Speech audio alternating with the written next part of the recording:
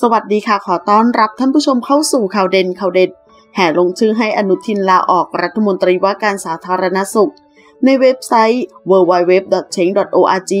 โดยหมอไม่ทนพุดแคมเปญเรียกร้องให้นายอนุทินชันวีรกุลรัฐมนตรีว่าการกระทรวงสาธารณสุขลาออก จากความล้มเหลว ในการแก้ไขปัญหาโควิด ระบุว่ากว่า1ปีเต็มที่ผ่านมาของการระบาดโควิด เป็นข้อพิสูจน์แล้วว่านายอนุทินชาญวีรกุล รองนายกรัฐมนตรี และรัฐมนตรีว่าการกระทรวงสาธารณสุข ไม่มีความสามารถมากพอ ในการควบคุมดูแลการแพร่ระบาดของโรคโควิด ทั้งเรื่องการวางนโยบาย การจัดการทรัพยากร การจัดหาวัคซีน และการสร้างความเชื่อมั่นให้บุคลากรทางการแพทย์ นอกเหนือไปกว่านั้น หลายครั้งบทสัมภาษณ์จากนายอนุทิน ยังทำให้เห็นชัดเจนว่า ไม่มีวิสัยทัศน์ที่เหมาะสมในการทำงานควบคุมกระทรวง ที่เป็นกระทรวงหลัก โดยเฉพาะอย่างยิ่งในช่วงที่การระบาดไม่สามารถควบคุมได้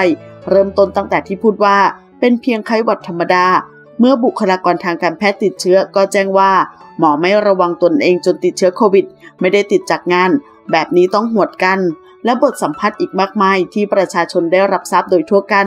จากความล้มเหลวทั้งหมดนี้เป็นข้อพิสูจน์แล้วว่า เราไม่อาจจะให้เวลาอันมีค่าของเรา หมดสิ้นไปกับการบริหารงาน ที่มีประสิทธิภาพไม่มากพอได้ ขอเรียกร้องให้นายอนุทินชันวีรกุลลาออก และให้ผู้ที่มีความสามารถมีความเหมาะสมมากกว่า เข้ารับตำแหน่ง ในช่วงเวลาที่ประเทศกำลังตกอยู่ในความวิกฤตนี้ ทั้งนี้มีผู้เข้าไปลงชื่อสนับสนุนมากกว่า 10,000 รายชื่อ เนื่องจากมองว่านายอนุทินล้มเหลวในการบริหารด้านงานสาธารณสุข ไม่มีคุณสมบัติในการเป็นรัฐมนตรี ไม่สามารถแก้ไขปัญหาโควิดได้ และทำให้สถานการณ์แย่ลง ขอขอบคุณข้อมูลจากสยามท็อปิกขอบคุณค่ะ